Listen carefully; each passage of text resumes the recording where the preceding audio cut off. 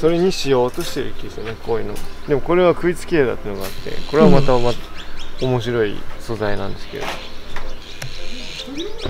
なんかそういう種類があるんですか？文人。そう文人。文人。文人。ロサンこロサン人。ロサンジはない。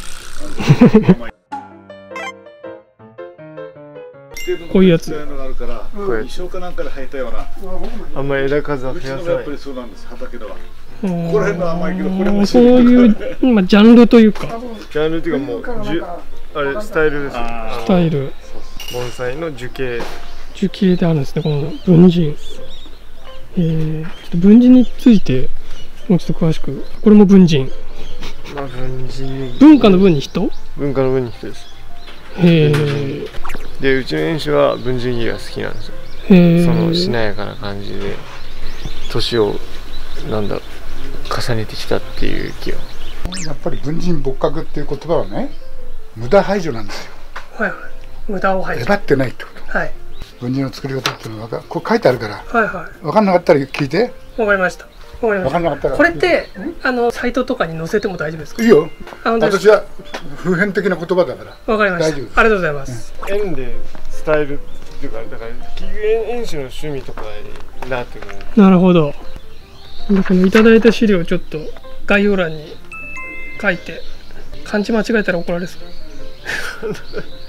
結構難しい漢字が。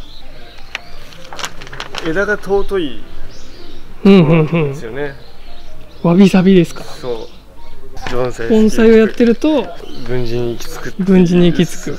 へえいろんな人がいて。へえ文人知らなかったな。これもこれ逆ですねちょ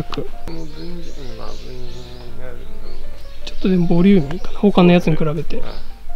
この辺か。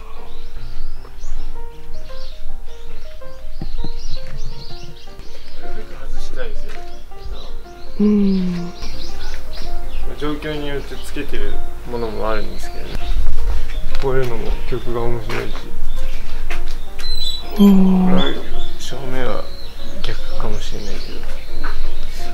盆栽やってるって話になってて、はい何育ててるんですか？っつった時にいやだいたい文人系にしちゃいますねみたいなこと言えばつぶれますね。そうです。文人を木だと思っちゃうとやばいですけどね、樹形？何の何の文人とかうんうん。質問されてだから。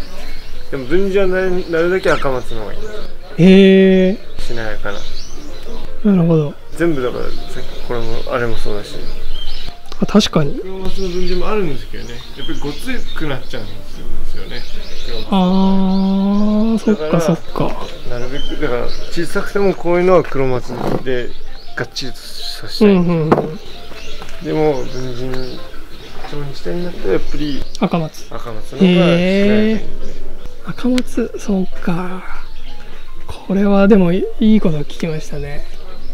つぶりたいんで 文人始めようかな 小さいのでもできますもんね。そうですね。やっぱりでもその文人はなんだろうこけてないといけないんですよ。はいはいはい。定義じゃないですけどやっぱり品格が出るのはやっぱり幹皮が幹荒れてこういうこと。でなおかつ細い。あ皮が荒れて細いっていうのはねどれだけ大変な環境にいたんだろう。っていうのを連想させるーなるほど太くて皮が荒れてるのはもういっぱい栄養をもらってうん。順風満帆に成長してきたっていうのが分かるけど、はいはい。細いっていうことはやっぱり栄養があんまりもらえなかった。皮が荒れてるってことはそれだけ年数がかかへえ。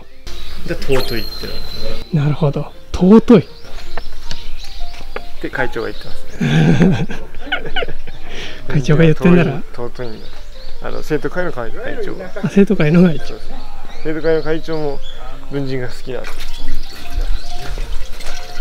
これがどんどん皮が荒れていくと品格が出るう。ん。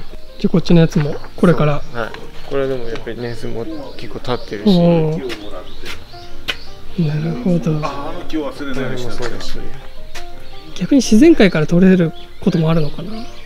ああるかもしれうないですけど、ねん。でも大きくなっちゃうか。